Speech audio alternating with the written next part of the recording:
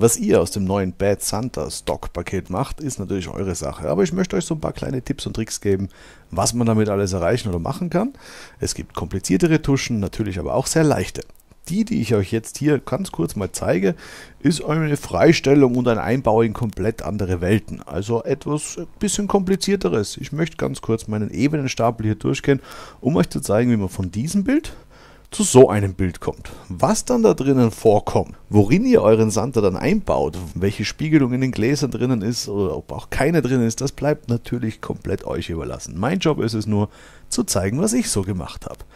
Ich habe mir eines der Bilder aus dem Stockpaket rausgenommen, habe diese Ebene dann dupliziert und schon in den Brillengläsern ist zu erkennen, dass hier ein wenig die Reflexion meinerseits rausgenommen wurde. Der Fotograf, der ist hier noch ein bisschen sichtbar. Das Problem hat man eigentlich generell, wenn man solche Bilder mit spiegelnden Objekten fotografiert, dass es schlichtweg sein kann, dass in selbigen sich dann auch der Fotograf und das ganze Studio spiegelt. Man muss dabei nur aufpassen, das ist der Nasenrücken von unserem neuen Typ und diese Finger und auch diese Kappe hier, das gehört alles noch zu seiner Hand. Die Spiegelung, die soll mal nicht rausretuschiert werden. Dann brauche ich einen Freisteller. Ich möchte den ganzen Kollegen hier freistellen. Wir haben sie so fotografiert, dass sie sehr simpel zum Freistellen sind. Ich kann das hier mal mit einem Beispiel zeigen. Ich dupliziere mir diese Ebene, mache sie für euch mal grün, damit ihr seht, auf welcher wir arbeiten. Die wird später wieder rausgelöscht, weil ich sie hier oben schon einmal drinnen habe.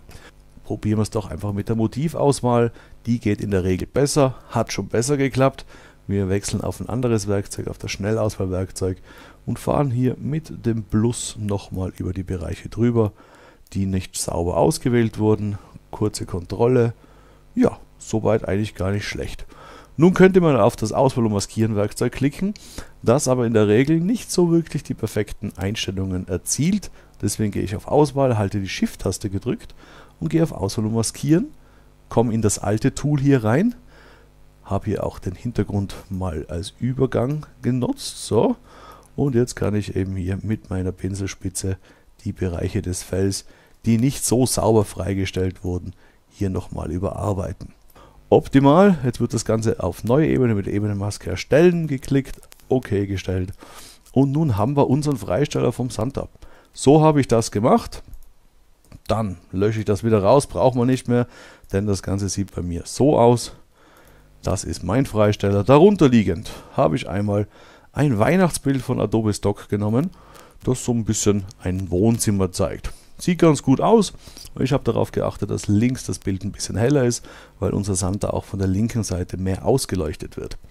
Nun brauche ich eine Abdunklung und das erziele ich, indem ich hier oben eine Farbtonsättigung aktiviere. Das ist diese Ebene hier und ich habe der Farbtonsättigung schlichtweg die Sättigung ein bisschen rausgenommen, aber auch die Helligkeit und das Ganze mit einer Schnittmaske versehen, dass diese Einstellungsebene eben nur auf unseren Hintergrund agiert.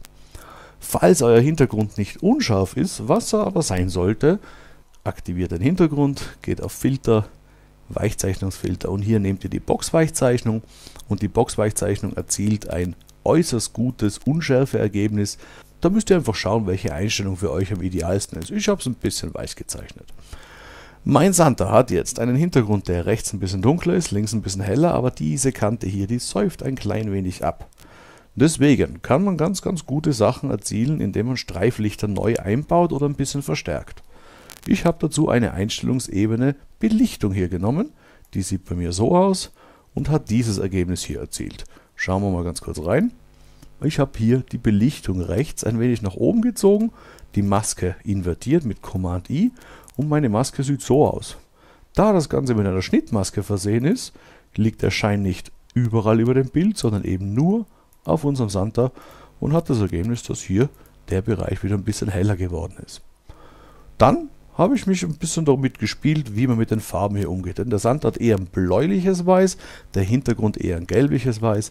Deswegen eine selektive Farbkorrektur, diesmal ohne Schnittmaske die wurde hier in den Grautönen verändert. Gehen wir mal in die Grautöne rein. Man erkennt Zyan ein bisschen nach links, Gelb ein bisschen nach rechts und dann bekomme ich so einen wohlig warmen Wohnzimmereffekt. Nun braucht der Santa noch ein paar Dinge, die man fotografisch schlecht einfangen kann, wie zum Beispiel das Glühen einer Zigarre. Für diesen Effekt habe ich mir eine Zigarre einfach fotografiert, die brennt mit einer Langzeitbelichtung und hier schlichtweg mit einer leichten Maske darüber gesetzt. Zack, auf einmal brennt diese Glut hier. Auf einmal ist sie heiß und lodert. Optimal, was brauchen wir sonst noch? Ah, das habe ich ein bisschen im Ebenenstapel irritierend angelegt. Das ist nämlich unser Rauch. Eine Rauchpinselspitze wurde hier auf einer leeren Ebene angewandt. Die Rauchpinselspitzen findet ihr bei mir auch im Shop. Die nennen sich die besten Rauchpinselspitzen von Schweighofer.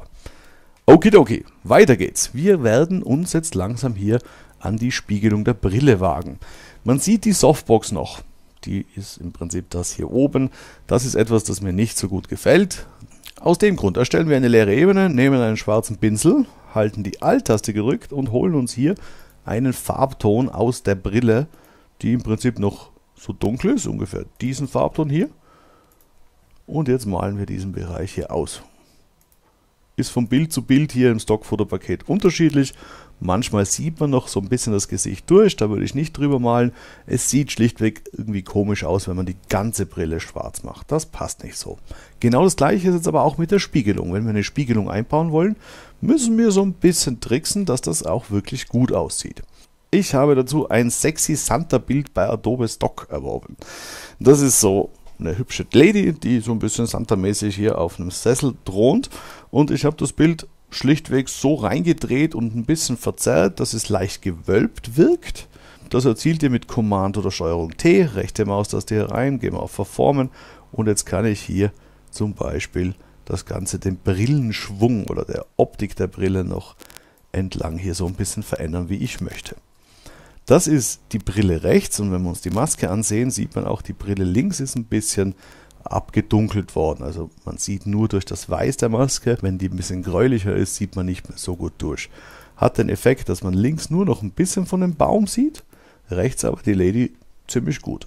Dann habe ich die Lady einfach genommen, nach links geschoben und abermals genau das gleiche gemacht, denn jedes Brillenglas ist separat voneinander getrennt und hat damit auch den Effekt, dass man eine Spiegelung möglicherweise zweimal sieht. Das kann natürlich jetzt hier noch angepasst werden und gesagt werden, okay, die Dame wird hier wahrscheinlich nicht so sein, sondern so. Man muss sich hier ein bisschen rumspielen, auch immer wieder rauszoomen und schauen, sieht es echt aus, sieht es nicht aus, habe ich irgendwas physikalisch falsch gemacht. Das ist eure Entscheidung, wie ihr es einbaut. Ich finde so eigentlich ziemlich passend. Ein genereller Farblook kommt eigentlich schon recht am Schluss dieses Bildes jetzt hier noch zur Geltung. Nochmals eine selektive Farbkorrektur, die mischt mir jetzt alle Composing-Elemente zusammen. Wir haben immerhin die Dame drinnen, wir haben den Hintergrund, wir haben den Santa und den Rauch sowie auch die Zigarre, also fünf Elemente zu einem zusammengemischt, ergibt dann in einem Farblook so ein Ergebnis. Ich habe die Grautöne ein wenig verändert, aber vor allem auch die Schwarztöne. Die Schwarztöne hier, gelben minus 14, Magenta minus 3, Cyan minus 2. Das mischt mir alle Schwarztöne zu einem einheitlichen Farbton zusammen und bereitet somit das Bild perfekt vor für den finalen Endlook, den ihr hier als Ebene 4 seht. Der sieht jetzt hier ein bisschen kompliziert aus, aber ich erkläre es ganz gerne. Ich habe, wenn dieser hier jetzt nicht vorhanden wäre, Command Alt Shift und E oder Steuerung Alt Shift E, wenn ihr Windows nutzt, gedrückt, mit der rechten Maustaste hier in den Graubereich geklickt ins Mardobeck konvertieren. Denn jetzt habe ich eine flexible Ebene, die ich ständig wieder nutzen kann und vor allem kann ich darunter jedes Mal noch ein bisschen was verändern. Nun wechseln wir auf den Filter in den Camera Raw Filter rein und können jetzt unser Bild mit dem Camera Rook und dessen Möglichkeiten an Filtervorgaben hier noch verändern. Ich lösche das jetzt hier nochmal, um euch zu zeigen, was ich denn wirklich bei diesem Bild gemacht habe. Mein Ergebnis, okay, die Dame habe ich vorher ein bisschen verändert. Sieht so aus. Doppelklick hier auf das Camera Raw, dann zeige ich euch, wie es drinnen aussieht. Die Grundeinstellungen wurden ein bisschen verändert. Bisschen die Lichter runter, bisschen die Weißwerte runter, damit man noch mehr Zeichnung hier in den weißen und hellen Stellen sieht. Die Schwarzwerte wurden erhöht, damit ich ein bisschen mehr Zeichnung auch in den dunklen Bereichen bekomme. Und vor allem habe ich Struktur und Klarheit hier nach oben gezogen, denn unser Santa verträgt diese Filter, die machen das Ganze ein bisschen knackiger, ein bisschen schärfer, strukturierter, wirkt einfach besser.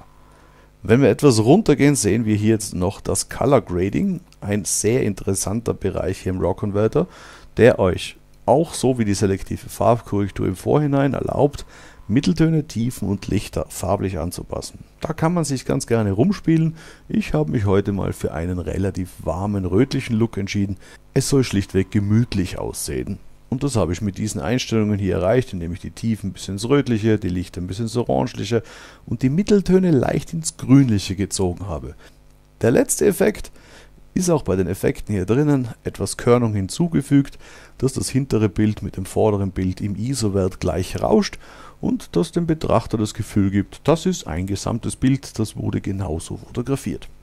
Auf OK geklickt und jetzt liegt es an euch. Ob ihr hier noch weitere Sachen einbauen wollt oder sagt, hey, mein Santa, der hat jetzt bald mal ein paar nette Stunden und wird Geschenke auspacken. Im Vorhinein aber versprochen und nicht vergessen meinerseits, wir können den Filter des RAW-Filters nochmal ausmachen und hier unten etwas verändern. Zum Beispiel können wir die Damen hier ein bisschen anders hinsetzen. Unser Problem ist nur, wenn wir jetzt hier den Filter oben wieder einschalten, hüpfen die Damen nach oben, weil der Filter ja eine gesperrte Ebene ist. Aus dem Grund hatten wir aber vorher auch ein Smart Object daraus gemacht, denn jetzt gehe ich eine Etage weiter runter unter den Smart Filter, drücke Command Alt Shift E, mache mir somit wieder eine Ebenensumme, wechsle hier mit rechter Maustaste in das Smart Object konvertieren, habe das jetzt als Smart Object und ziehe jetzt diese zwei Kreise und somit die gesamte Filterebene nach unten und habe jetzt oben keinen Filter mehr drinnen, sondern nur noch auf der neuen gemachten Ebene und auch die ganzen Änderungen und Einstellungen, die ich darunter gewagt habe, die passen sich jetzt wieder ideal an. So könnt ihr flexibel mit Smart-Objekten arbeiten und vor allem auch schon am Anfang ganz oben eine Ebenensumme machen, die in ein Smart-Objekt konvertieren, euren Look darauf legen und dann über diesen Filter weiterarbeiten und immer wieder zusammenrechnen, Smart-Objekt und reinziehen. Und dann habt ihr von Anfang an schon einen coolen Look und werdet sehen, wie das Bild am Ende aussieht.